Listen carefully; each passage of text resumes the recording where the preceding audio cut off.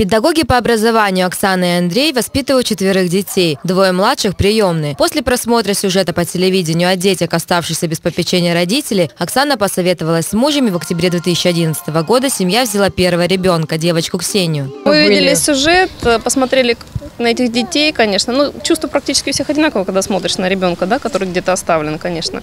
А вот, но мы думали вообще недолго. То есть к утру мы уже дозрели для того, чтобы можно было подумать на эту тему более серьезно и решиться, да. Спустя два года Андрей и Оксана решили усыновить еще одного малыша, двухмесячного Антошу. Как признается Оксана, подарить еще одному ребенку заботу и ласку мамы и папы они не прочь. Только жилищные условия пока этого не позволяют. Старший сын Иван помогает воспитывать сестер и братика. В их семье всегда царит позитивный микроклимат, отношения доброжелательные. А это важно для хорошего настроения и развития детей. Средние девочки хорошо ладят, у них небольшая разница в возрасте, то есть у них общие интересы, но вместе с тем они, конечно, бывают и ссорятся, всякое бывает. А к младшему относятся все как-то таким придыханием, скажем так. Все родители, которые не побоялись взять на воспитание приемных детей, сходятся в одном. Когда ребенок улыбается, чувствуешь себя поистине счастливым человеком. Алина Гумерова, Артем Зиборов, Анапа регион.